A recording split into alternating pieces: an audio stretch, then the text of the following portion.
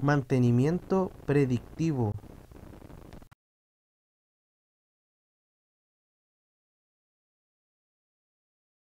Tema a tratar, análisis de vibraciones. Lo primero que veremos es qué es una vibración. Una vibración es un movimiento oscilatorio de pequeña amplitud. Se puede considerar como un movimiento repetitivo alrededor de una posición de equilibrio.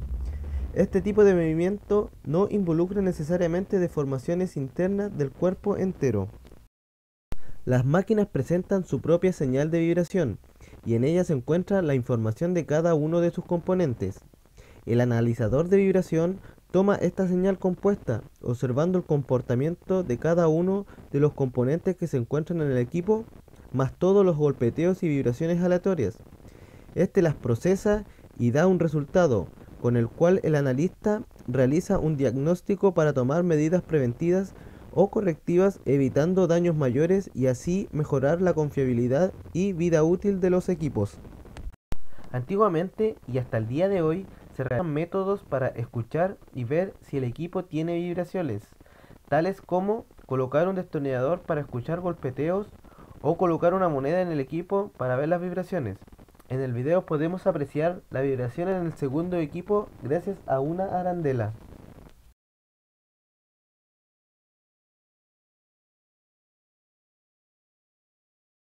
Estos métodos arcaicos no nos revelaban información precisa de cuál podía ser el origen de la vibración. Debido a esto, se comenzó con el análisis de vibración. El análisis de vibraciones espectral es una herramienta ampliamente utilizada en el mantenimiento predictivo. Este ensayo no destructivo tiene como objetivo identificar las principales frecuencias de excitación del sistema, relacionando estas frecuencias con el tipo de defecto que la máquina padece. Los defectos inherentes a la rotación de la máquina son presentados a través de las frecuencias de rotación y sus armónicos.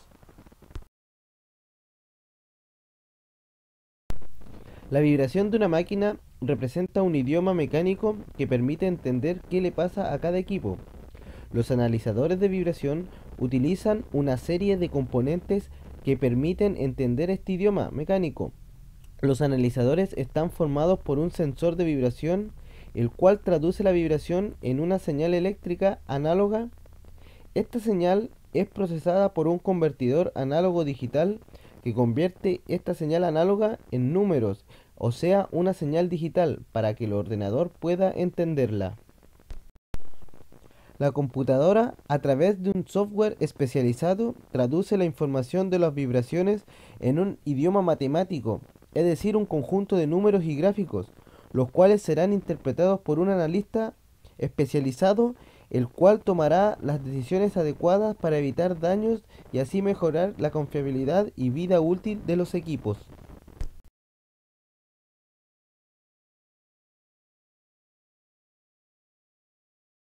La metodología para realizar este ensayo no destructivo es tener información sobre el equipo al cual vamos a analizar.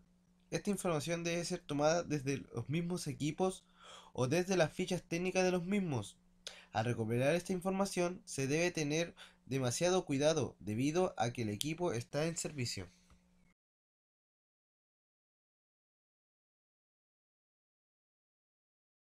La información que necesitamos para analizar un equipo es la del motor, la transmisión y el equipo inducido.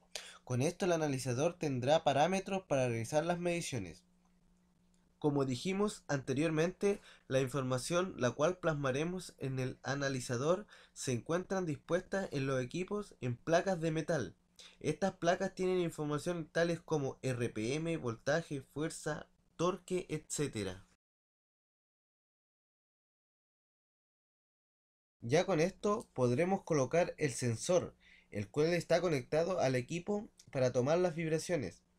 Las partes en las cual colocaremos este sensor las indicará el analizador, por lo cual seguiremos los pasos indicados en él.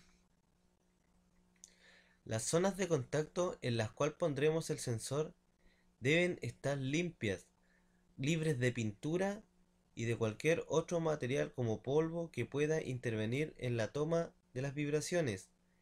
También el sensor debe colocarse en la posición correcta, no diagonal paralela al motor o al equipo el cual estemos tomando la medición.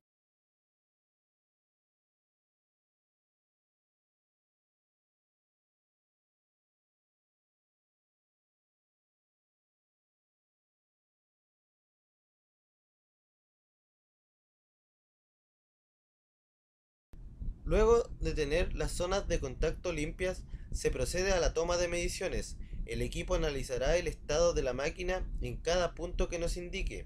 Con estas mediciones, el software definirá cuál es el estado real de la máquina, el cual será diagnosticado por el analista que tomará las decisiones pertinentes.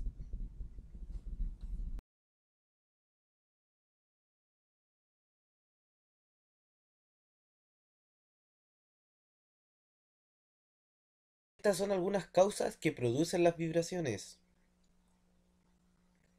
Aquí tenemos los usos y aplicaciones de este análisis. Las ventajas y las desventajas de este ensayo no destructivo.